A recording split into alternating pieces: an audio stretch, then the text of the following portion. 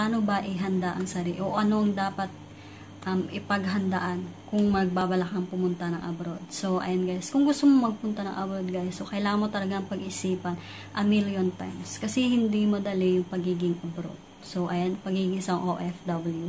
Napakahirap guys. So, ayan, so guys, lahat po mga sasabihin ko guys, hindi ako eksperto sa mga pagdating dito, pero lahat po na sasabihin ko is just my experience only. So, ayan guys, And hindi tayo basta-basta lang pag naisip natin, uh, pag may nakita tayo nag-abroad na, so gusto na, na natin mag-abroad, or broken-hearted kayo, kaya gusto niyo mag-abroad, makalimot. So, and hindi pwede yun guys. Kasi pag nasa ibang bansa kayo, ibang-iba din ang buhay na mahihinat na ninyo. So, and guys, pag nag-abroad ka, sigurado mo talagang 100% talagang desidido ka at talagang desisyon mo pumunta sa ibang bansa. Kasi guys, kung napipilitan ka lang at nasa ibang bansa ka, hindi pwede magsasabi ka lang, ayoko na, gusto ko na umuwi. Hindi, hindi pwede yung ganun guys. So, ay kailangan talaga ang buo, buo yung sarili mo or buo yung loob mo na pumunta dito. So, ayan guys.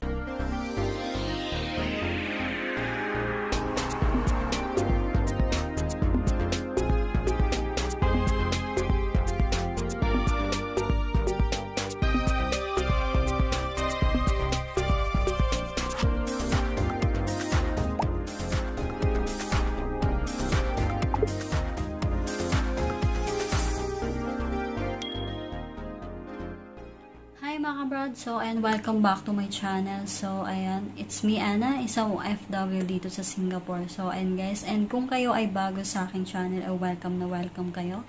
And, syempre, kung kayo ay luma na, so, welcome back. So, ayan guys. And, for today's vlog, so, and usapang OFW muna tayo guys. Kasi marami nagsasuggest nito na mag-focus ako dito sa um, OFW para makatulong din sa mga nagbabalak mag-abroad. So, and guys, And ako po ay isang domestic helper dito sa Singapore. And so, ayan guys, kung mga nagbabalak or kung gusto nyo pumunta ng abroad, so kailangan nyo ihanda yung sarili nyo guys. So, ayan, yung pag-uusapan na, natin ngayon, so ayan, paano ba ihanda yung sarili o ano ang dapat paghandaan bago pumunta ng abroad. So, ayan guys, Unang-una is, kailangan mo ihanda yung sarili mo. Kasi guys, ikaw yung magtatrabaho. So, ayan, kailangan mo ihanda yung sarili mo. Para pagdating mo doon sa abroad o sa bansang pupuntahan mo, eh, ready ka. Ready ka sa kung anong pwedeng mangyari sa'yo. So, ayan guys. So, focus muna tayo sa domestic helper kasi yun lang yung experience ko guys. And gusto ko lang uh, magbigay ng mga um, share o gusto ko lang magbigay or mag-share ng mga tips tungkol sa mga na-experience ko na. So, ayan guys And so, ayun, ang unang-una dapat paghandaan guys, kailangan, um, tanong mo muna yung sarili mo kung kaya mo bang mag-abroad. Kasi guys, once na mag-abroad ka na o nasa bansang pupuntahan ka na, so napakahirap guys. Hindi ka pwede magsabi na, ah, gusto ko na umuwi, ayoko na. So, hindi tayo pwede magganon guys. So, ayan, kailangan tatag ng sarili or tapang talaga na harapin kung ano man ang ang sitwasyong kahihinatnan mo doon. So, ayun guys, and kailangan mo rin syempre, um, itanong sa sarili mo, kaya ko bang iwan yung mga minamahal ko sa buhay? Kaya ko ba isakripisyo yung sarili ko para sa kanila? So, mga ganong tanong guys. And, syempre, kailangan mo sagutin yun kung talaga bang desidido ka na. Kasi talagang hindi madaling mag-abroad. Lalo na kapag yung trabaho mo is domestic helper. So, I guess, hindi, hindi yun basta-basta lang na linis ka lang dito, okay na. So, may mga iba't ibang amo kasi guys. So, hindi mo masasabing pagpunta mo ng bansang gusto mong puntahan, eh magiging okay yung kahinatnan mo. So, ayun guys, kailangan mo tibayan ng loob. And wag ka lang guys pupunta ng abroad kasi dahil lang nainggit ka sa iba or na broken hearted ka. So, ayun, nagusto kang takasan ng utang. So, ayun, di ba? Hindi yung pwedeng ganun, guys. Kailangan buo yung sarili mo at gustong gusto mo para sa sarili at para na rin sa pamilya mo. So, ayan. And, syempre, kailangan mo, guys, ang emosyon talaga. So, minsan kasi doon tayo bumibigay kapag may emosyon na tayong nararamdaman. So, and, um, ano pa yung ibig kong sabihin? Like, homesick, guys. So, ayan.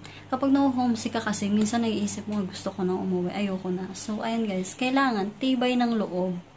Kasi hindi ka pwedeng magsabi na, oh, pwede bang ano, uwi na ako, tapos babalik lang ako. Hindi ganun-ganun, guys. Kasi, hindi biro yung ticket o hindi biro yung gagastusin mo bago ka makauwi. So, ayan guys. And, syempre, lagi mo iisipin na um, hindi porket na pumunta ka doon, magiging maganda na yung buhay mo or or anything else.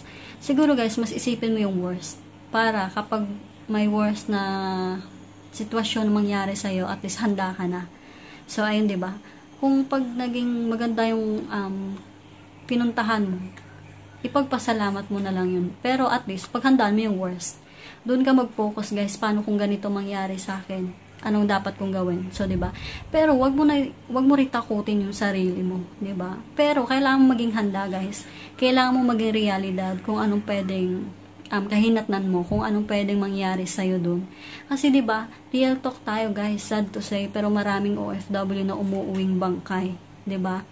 So, pero kung ikaw, matatag yung paniniwala mo or talagang ang pinagdasal mo or talaga matatag yung sarili mo para pumunta sa bansang pupuntahan mo, tiwala ka lang kay Lord guys, hindi hindi ka mapapaano.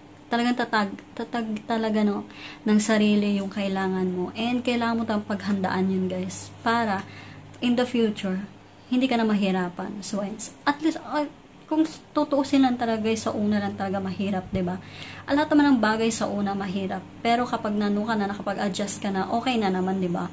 So, ayan guys, and yun lang siguro ma-share ko sa inyo kasi hindi talaga basta-basta um, pumunta ng abroad or magtrabaho sa abroad lalo na kapag domestic helper yung yung yung pagtatrabahuan ninyo so ayun hindi hindi siya madali guys. So, ayan. Hindi mo alam.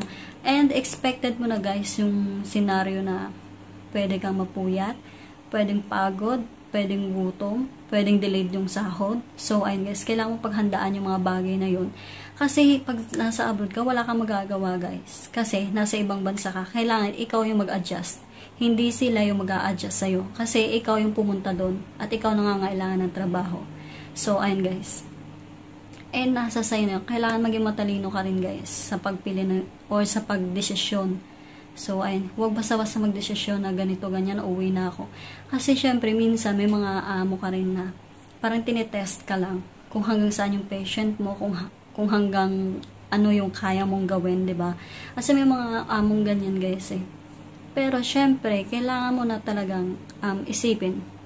Tips and advice lang to, guys, ah, para sa akin kailangan mo isipin yung worst thing na pwedeng mangyari sa'yo para alam mo at mapaghandaan mo kung sakaling mangyari man nga sa'yo. So, pero sana wag naman sana, 'di ba? Pero at least handa yung sarili mo, 'di ba?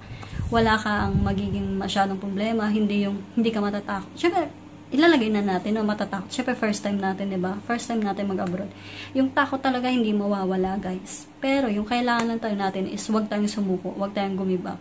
Kung hindi kami naging um, sinwerte sa unang amo. Meron pa maraming amo guys. So, ayan. Pero kailangan talaga, wag naman na pag ayaw mo na, konting ayaw mo na, o konting hirap mo na, aayaw ka na. So, hindi naman pwede yung ganun guys.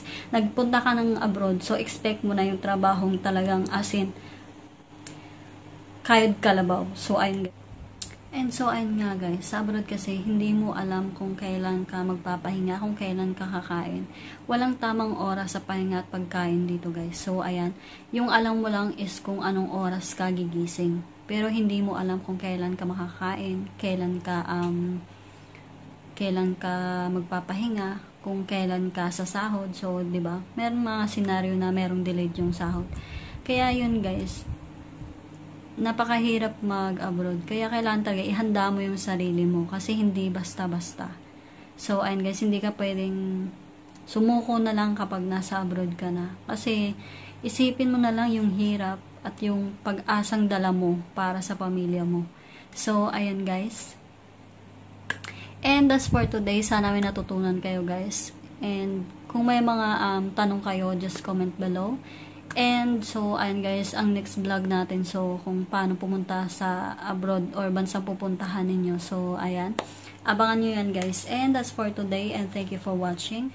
So, ayan guys, please don't forget to like, share, comment, comment na rin kayo. So, ayan, and subscribe and hit the notification bell for more updates. So, ayan guys, thank you so much and see you until my next vlog.